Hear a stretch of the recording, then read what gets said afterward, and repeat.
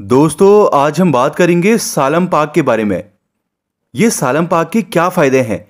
कैसा आपको लेना है? इसके इंग्रेडिएंट्स क्या हैं? साइड इफ़ेक्ट क्या हैं?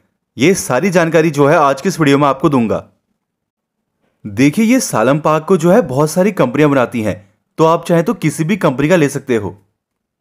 इसे आप जो आयुर्वेदिक मेडिकल स्टोर होते हैं, वहाँ से आप इसे जो है खरीद सकते हो। या आप इसे ऑनलाइन भी मंगा सकते हो। ऑनलाइन खरीदने के लिंक वीडियो के डिस्क्रिप्शन पर अवेलेबल है।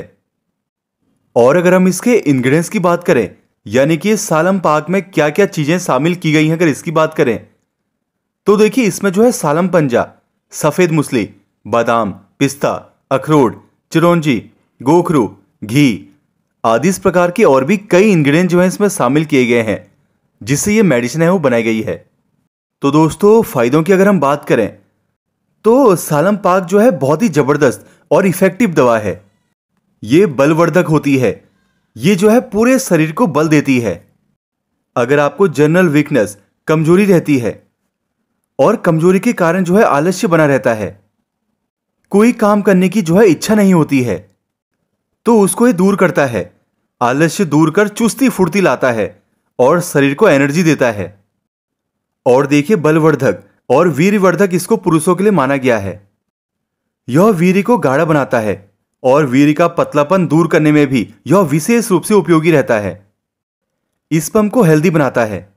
जो लोग दुबले पतले हों, जो लोग कमज़ोर हों, जिन लोगों के शरीर में कमज़ोरी हो, ऐसे सभी लोगों के लिए सालम पाक विशेष रूप से ज़्यादा फ़ायदेमंद है। और देखिए, इसके अलावा ये जो है नर्वस सिस्टम को ताकत देता है, तनाव और मानसिक कमज़ोरी को दूर करता है।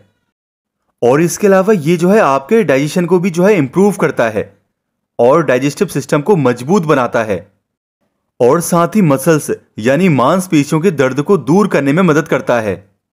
इसके साथ ही देखिए, यह आपके इम्यूनिटी को भी बूस्ट करता है। रोग प्रतिरोधक क्षमता को भी जो है बढ़ाता है।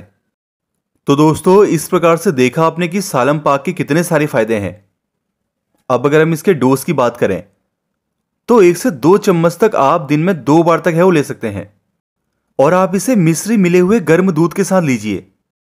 इस तरह अगर आप इसको लोगे तो आपको इसके काफ़ी बढ़िया फ़ायदे हैं वो देखने को मिलेंगे। साइड इफ़ेक्ट की अगर हम बात करें तो इसका ऐसा कोई साइड इफ़ेक्ट नहीं है।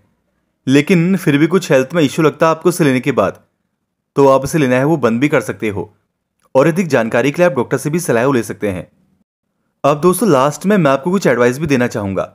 अगर आप इस सालम पाक लेते हैं तो जैसे कि आपको एल्कोहल नहीं लेना है।